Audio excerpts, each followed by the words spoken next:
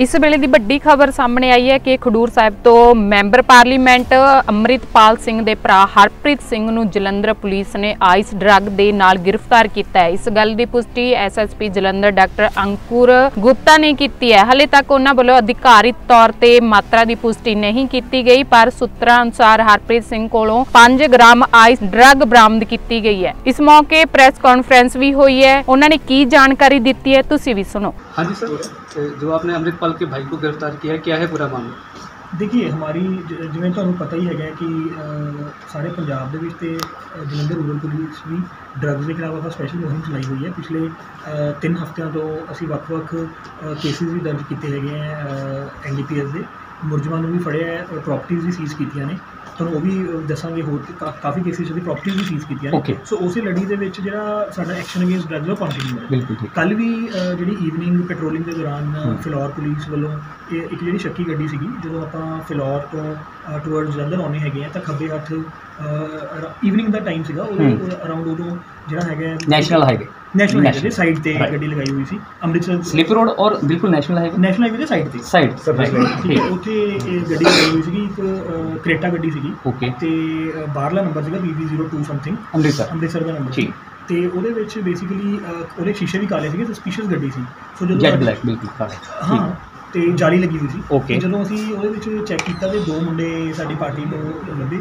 ਤੇ ਸਸਪੀਸ਼ੀਅਸ ਸੀਗਾ ਕੋਈ ਲੱਗਦਾ ਸੀਗਾ ਕਿ ਕੋਈ ਸ਼ੱਕੀ ਚੀਜ਼ ਹੋ ਸਕਦੀ ਹੈ ਤੇ ਮੌਕੇ। ਤੇ ਅਸੀਂ ਆਪਣੇ ਆਫੀਸਰ ਨੂੰ ਵੀ ਉੱਥੇ ਬੁਲਾਇਆ ਗਿਆ। ਜਿਹੜੇ ਸਾਡੇ ਡੀਐਸਪੀ ਫਿਲੌਰ ਹੈ ਉਹਨਾਂ ਦੀ ਸਰਚ ਕੀਤੀ ਗਈ। ਤੇ ਅਲਟੀਮੇਟਲੀ ਫਿਰ ਉਹਨਾਂ ਤੋਂ ਕੰਟਰਾਬੈਂਡ ਜਿਹੜਾ ਮੈਟਾਮਫੀਟਾਮੀਨ ਜਿਹਨੂੰ ਆਪਾਂ ਆਮ ਭਾਸ਼ਾ 'ਚ ਆਈਸ ਕਹਿ ਦਿੰਦੇ ਆ ਉਹ. ਰਿਕਵਰ ਹੋਈ। ਠੀਕ ਉਹਦਾ ਵੇਖ ਕੀਤਾ ਗਿਆ 4 ਗ੍ਰਾਮ ਆਈਸ ਮਿਲੀ। ਤੇ। ਨਾਲ ਇੱਕ ਵੇਗ ਸਕੇਲ ਵੀ ਸੀਗਾ।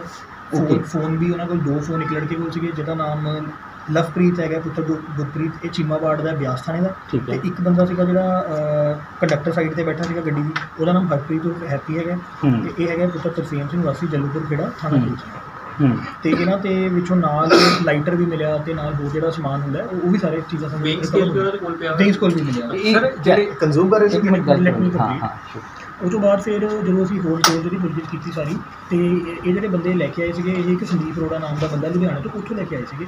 ਤੇ ਉੱਥੋਂ ਇਹਨਾਂ ਨੇ ਬਕਾਇਦਾ ਪੇਟੀਐਮ ਕਰਕੇ ਉਹਨੂੰ ਪੈਸੇ ਜਿਹੜੇ 10000 ਪੇਟੀਐਮ ਪੇ ਕੀਤਾ ਤੇ ਉਹਦੇ ਬਦਲੇ ਵਿੱਚ ਵਿੱਚ ਡਰਗ ਸਰ ਤੁਸੀਂ ਮੈਡੀਕਲ ਵੀ ਕਰਾਇਆ ਹੈ ਕਿ ਮੈਡੀਕਲ ਰਿਪੋਰਟ ਚ ਕੀ ਹੈ ਕਿ ਲੋਕ ਲੈਂਦੇ ਸੀ ਕਿ ਖੁਦ ਦੇਖੋ ਇਹਦਾ ਵਿੱਚ ਅਸੀਂ ਡਿਟੇਲਸ ਮੈਡੀਕਲ ਵੀ ਕਰਾਇਆ ਹੈਗਾ। ਉਹ- ਉਹਦੇ ਵਿੱਚ ਟੈਸਟ ਦੇ ਵਿੱਚ ਬਿਲਕੁਲ ਪੋਜ਼ਿਟਿਵ ਆਇਆ ਹੈਗਾ ਜੀ ਜਿਹੜਾ ਦੋਨੇ result ਹੈਗਾ। ਦੋਨੇ ਦੋਨੋਂ ਪੋਜ਼ਿਟਿਵ ਪੋਜ਼ਿਟਿਵ ਆਏ ਮਤਲਬ ਕਿ ਉਸ ਵੇਲੇ ਕੰਜ਼ਿਊਮ ਕਰ ਰਹੇ ਸੀਗੇ?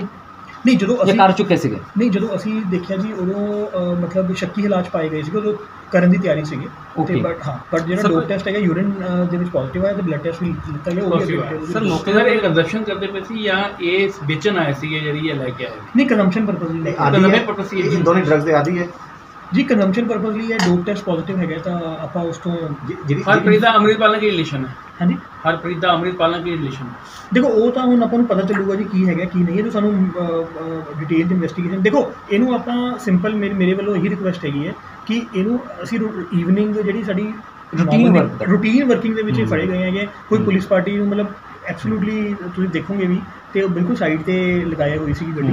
ਉਹਦੇ ਵਿੱਚੋਂ ਰਿਕਵਰੀ ਮਤਲਬ ਕਿ ਕਿਸੇ ਨੂੰ ਕਲੀਅਰ ਕਰਿਓ ਮਤਲਬ ਕਲੀਅਰ ਕਰਿਓ ਕਿ ਇਹਦਾ ਫੈਮਿਲੀ ਬੈਕਗ੍ਰਾਉਂਡ ਕੀ ਹੈ ਕੌਣ ਹੈ? ਉਹ ਲਿਖਿਆ ਡਿਟੇਲਸ ਚੈੱਕ ਕਰਾਂਗੇ ਜੀ ਹੁਣ ਸਾਰਾ? Everything will be checked in detail ਸਾਡੇ ਲਈ ਫਿਲਹਾਲ ਤਾਂ ਦੇਖੋ ਇਹ ਦੋਸ਼ੀ ਹੈਗੇ ਨੇ ਜੀ 192 ਨੰਬਰ ਮੁਕੱਦਮਾ 2024 ਦਾ under under section brother of Amritpal ਹਾਂਜੀ। ਅੰਮ੍ਰਿਤਪਾਲ ਦਾ ਬ੍ਰਦਰ ਹੈ ਟਰੂ ਹੈ? ਹਾਂਜੀ।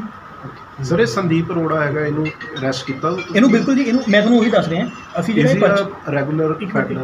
ਜਿਹੜਾ ਅਸੀਂ ਪਰਚਾ ਦਰਜ ਕੀਤਾ ਜੀ ਉਹ 22 27 ਐਨਡੀਪੀਐਸ ਤੇ ਉਹਦੇ ਵਿੱਚ ਵਾਧਾ ਜਦੋਂ 29 ਐਨਡੀਪੀਐਸ ਦਾ ਕਰਤਾ 29 ਦਾ ਮਤਲਬ ਇਹ ਹੁੰਦਾ ਕਿ ਜਿਸ ਤੋਂ ਲੈ ਕੇ ਆਏ ਹੋਣ ਅੱਗੇ ਉਹ ਉਹ ਅਸੀਂ ਵਾਧਾ ਕਰਤਾ ਤੇ ਸੰਦੀਪ ਅਰੋੜਾ ਇਹ ਹੈਗਾ ਈਟਾ ਨਗਰ ਥਾਣਾ ਹੈਬੋਵਾਲ ਇਹਨੂੰ ਵੀ ਅਰੈਸਟ ਕੀਤਾ। Arrest ਸੋ ਜਿਹੜੀ? ਹੋਰ ਵੀ ਸਾਰੀ ਜਿਹੜੀ ਬੈਕਵਰਡ ਚੇਨ ਹੈ ਪ੍ਰੋਪਰ ਇਨਵੈਸਟੀਗੇਸ਼ਨ ਅਸੀਂ ਕਰਕੇ ਉਹਨੂੰ ਜਿਹੜੇ ਵੀ Total ਤਿੰਨ ਬੰਦੇ arrest ਹੋਏ ਹੁਣ? ਟੋਟਲ ਹੁਣ ਤੱਕ ਤਿੰਨ ਬੰਦੇ ਸਰ। ਇੱਕ ਚੀਜ਼ ਨੇ ਕੋਈ ਹੋਰ 4 ਜਾਣ- ਗ੍ਰਾਮ?